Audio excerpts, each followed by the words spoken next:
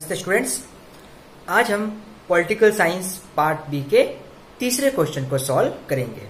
इससे पूर्व हमने पिछली कक्षाओं में दो प्रश्नों को सॉल्व किया है। आज तीसरा प्रश्न पॉलिटिकल साइंस जो क्वेश्चन में 2019 है, उसमें तीसरा प्रश्न पार्ट बी में आया था। राजनीति विज्ञान के शिक्षक की जिम्मेदारियाँ एवं पेशेवर आचार का उल्लेख कीजिए। हमने जो इकाई तीन है, उसके अंदर पॉलिटिकल साइंस टीचर के बारे में पढ़ा था, उसके गुण के बारे में पढ़ा था, उसके उत्तरदायित्व क्या होते हैं, उसकी व्यवसायिक आचार संहिता क्या इसके बारे में हमने विस्तृत रूप से अध्ययन करा था। उसी में से ये तीसरा क्वेश्चन आया है कि राजनीति विज्ञान जो शिक्षक है, उसकी क्या ज़िम्मेदारी होती है, उत्तरदायित्व क्या है? और जो व्यवसायिक जो आचार संहिता है, अब देखना, यहाँ पर जो लैंग्वेज है, उस लैंग्वेज को थोड़ा सा इस क्वेश्चन में चेंज कर दिया गया है। बुक के अंदर जो लैंग्वेज है, वहाँ पर जिम्मेदारियाँ ना होकर उत्तरदायित्व है। तो इसका यहाँ पर्यावाची जिम्मेदारियाँ दे दिया। और पेशेवर आचार तो पेशेवर बुक के अंदर व्यवसायिक दे रखा है। तो यहाँ पेशेवर, इस तरह से थोड़ी सी लैंग्वेज चेंज करिए, लेकिन क्वेश्चन का आंसर वही है। यानी कि आपको बताना है कि जो पॉलिटिकल साइंस का जो टीचर है, उसकी क्या जिम्मेदारियाँ है और व्यावसायिक आचार संहिता क्या है। सबसे पहले इसकी जो जिम्मेदारियाँ और जो उत्तरदायित्व है, उसके बारे में जानते हैं। पॉलिटिकल साइंस टीचर की जो ज़िम्मेदारी सबसे पहले छात्रों की प्रकृति, योग्यता, आवश्यकताओं, रुचियों, विकास तथा सीमाओं का ज्ञान रखे। एक टीचर की यह अच्छी मतलब हैबिट होनी चाहिए, उसकी ज़िम्मेदारी होनी चाहिए कि वो जो बालकों का जो नेचर है और उसकी जो योग्यता है, उनकी क्या आवश्यकता है, उनकी क्या रुचि है, उनको क्या विकास किस तरह से किया जाना है, उनकी क्या कमियाँ है? इन सब का शिक्षक को ज्ञान होना चाहिए, ताकि समय समय पर उस, इन पहलुओं को जानकर बच्चों को कैसा शिक्षण करवाना है, उनको आगे की तरफ़ किस तरह से प्रोग्रेस कराना है, इन सब बात का ध्यान हो सके। और ये तभी संभव हो सकता है जब शिक्षक को बाल मनोविज्ञान का ध्यान हो। अगर बालक को मानसिक स्तर, बालकों की माल, बाल मनोविज्ञान का ध्यान हो, बालकों के मानसिक स्तर का ध्यान हो तो शिक्षक इन बातों का ध्यान रख सकता है। अगला है छात्रों को नवीनतम घटनाओं की जानकारी।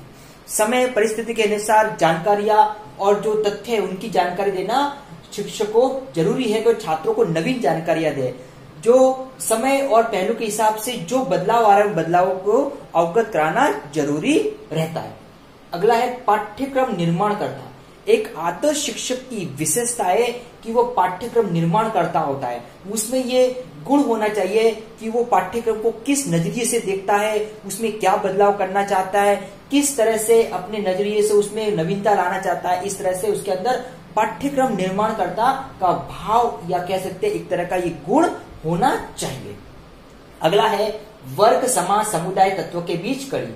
राजनीति विज्ञान शिक्षक की ये ज़िम्मेदारी होनी चाहिए कि जो वर्ग है, समाज है, समुदाय तत्व के बीच कड़ी का काम करे, समाज को विद्यालय से जोड़े, विद्यालय को समुदाय से जोड़े, इस तरह से कड़ी का काम करना चाहिए। समाज की जो कुरुतियाँ होती है, कुप्रथाएँ होती है, उनको दूर करने का प्रयास करे, एक नवीन सोच का संचार करे और इस तरह से एक आदर्श समाज का निर्माण करे। तो हम कह सकते हैं कि ये राजनीति विज्ञान शिक्षक की ज़िम्मेदारी है। इन जिम्मेदारियों को एक शिक्षक को भली भांति समझना चाहिए। अब व्यावसायिक आचार संहिता।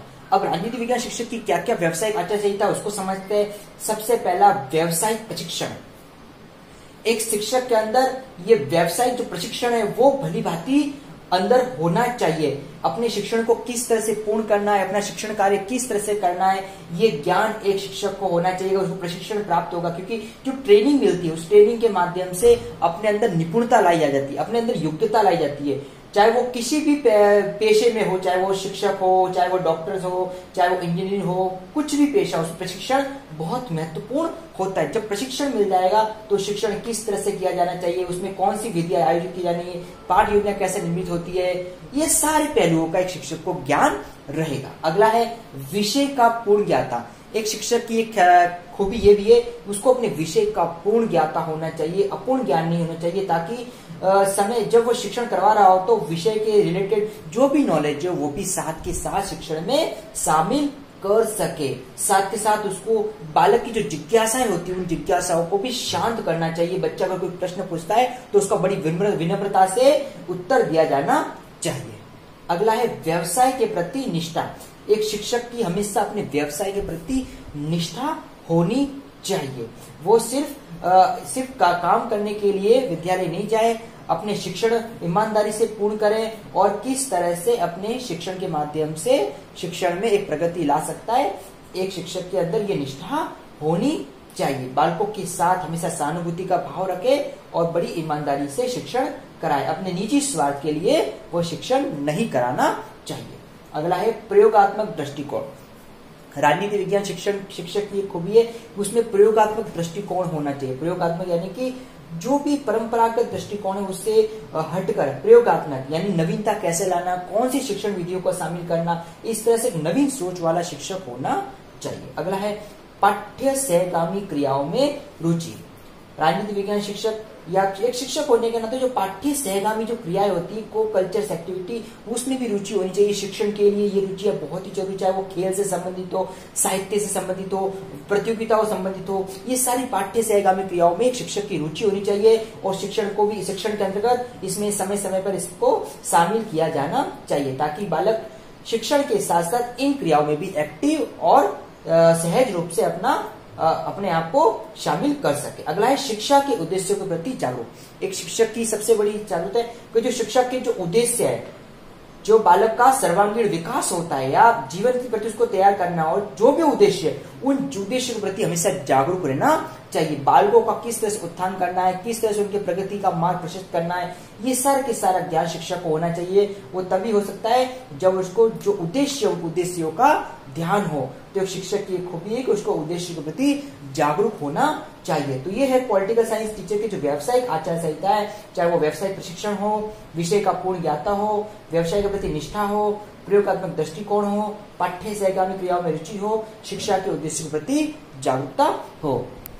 तो आज की कक्षा में हमने जो पार्ट बी के तीसरे क्वेश्चन को सॉल्व करा, जिसकी वर्ड लिमिट है 250 शब्द। इन पॉइंटों को लिखते हुए हमें हमारे प्रश्न के उत्तर को 250 शब्दों में शामिल करना है। Thank you